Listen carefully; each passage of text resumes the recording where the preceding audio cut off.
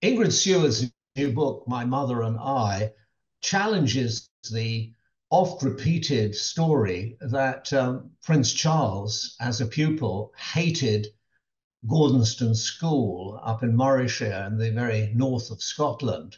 Uh, she says that she had tea with the then Prince of Wales uh, at Highgrove, his house in Gloucestershire, and she mentioned Gordonstoun, not least because her late husband, Ross Benson, was a contemporary of Prince Charles at the school and was in the same house as Prince Charles.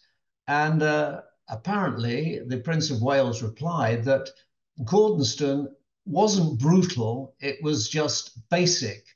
And uh, it taught him independence. But I'm afraid that doesn't mean to say he liked it, because I don't think he did. Uh, witness the fact that uh, when it came to his own sons, Prince William and Prince Harry, he did not pointedly send them to Gordonstoun. He sent them to Eton, hard by Windsor Castle. And it is uh, well known and has never been denied that when he had to go back to Gordonstoun, having spent the weekend uh, with his um, grandmother, the Queen Mother, the late Queen Mother, he would cry on her shoulder because he hated going back there. There's no doubt that he was brutalized by other boys on the rugby field and elsewhere. And then, of course, that did happen to him also in Australia, where he was at the Geelong Grammar School for some time during his wider education.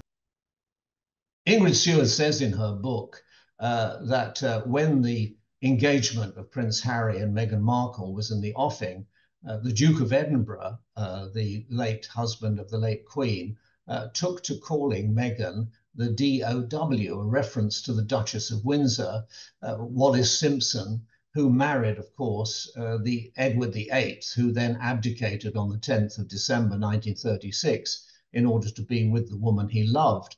Uh, this was uh, quite a pointed reference because the Duchess of Windsor, yes, she was an American, and yes, she was twice divorced. Meghan only once divorced when she got married at St. George's Chapel, Windsor. And of course, in the royal family, the Duchess of Windsor was regarded with some great disdain because she was seen to be uh, the reason for all the terrible things that had happened. Abdication was the big banned word in the royal family because uh, when Edward VIII uh, abdicated, it meant that the Queen's father, uh, the Duke of York, then became King George VI. And the Queen Mother, to her dying day, believed the fact that the extra uh, uh, responsibility put on the shoulders of her husband, who hadn't been prepared for being the monarch, helped to shorten his life. I think uh, it, it, it, quite clearly was a pointed reference by the Duke of Edinburgh. It, I would have thought that he probably didn't quite approve of, the match, and I think uh, using that nickname or that coded word uh, rather indicated that. In the book, Ingrid Seward says that the Queen was unhappy or questioned the shade of white of the wedding dress that uh, Meghan Markle uh, wore for her splendid wedding at St. George's Chapel, Easter, thinking that perhaps it was too white uh, for a, a, divorced woman. I wonder um, if that is uh, absolutely true because uh, the Queen was a, a, great study. She was a great authority on matters of this kind, and she would know that it is not the shade, the exact shade of white that a bride wears uh, that proclaims her virtue or, or virginity, uh, but rather if she wears or chooses to wear orange blossom. Orange blossom has always been the indication, the floral indication of purity.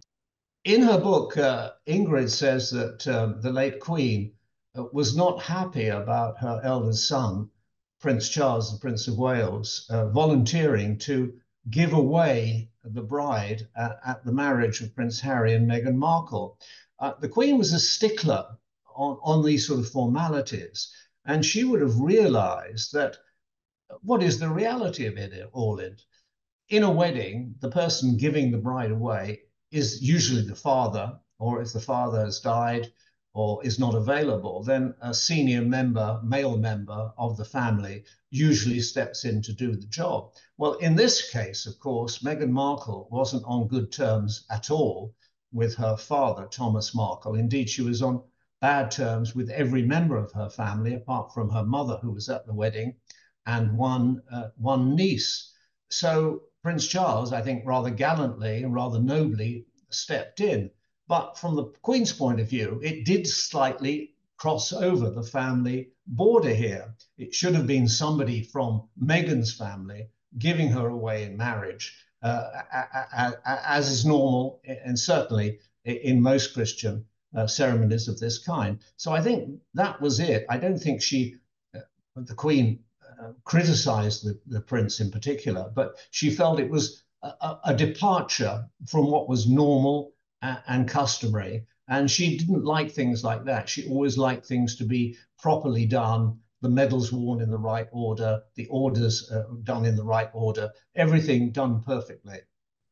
In her book, uh, Ingrid Seward does mention and detail the change of the relationship between the late Queen and her grandson, Prince Harry. And I think that was inevitable. I, am sure, I'm certain the Queen would have been dismayed uh, by what happened thereafter because the royal family went out of its way to me welcome Meghan Markle into the family. And if you remember, the crowds were standing 20 deep in Windsor Great Park to welcome them.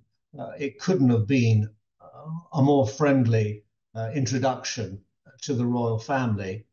I think uh, what is more interesting in the book was um, the details about the coming apart of the relationship between Prince Harry and his older brother, Prince William, and Prince William complaining about some of the antics as he saw it that uh, Prince Harry got up to.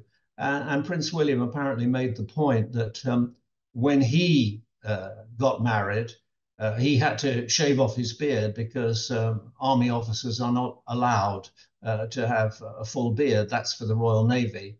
They're allowed to have a moustache, but not a full beard.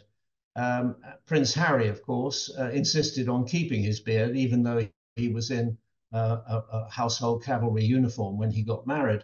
Also, Prince William, I think, wanted to um, to get married in the uniform of the RAF. And of course, he'd qualified as a helicopter pilot with the RAF and served uh, very well uh, in that role. Uh, but he was told by the Queen quite uh, pointedly uh, that he had to wear uh, the uniform of the Brigade of Guards, a red tunic. Well, I always felt that red and white, you know, the red of the tunic and the white of the bride's dress, in this case, Kate Middleton, always rather goes to it's rather garish, you know, rather garish, like a barber's pole, red and white. Uh, but anyway, they were red and white, and, and, Prince William did as he was told because he was told that that was the right way of doing things. And then he saw his younger brother more or less flout these rules, and that uh, rather rankled with him. I think, in a way, that's quite understandable. It's a small thing, but between brothers, it can mean quite a lot.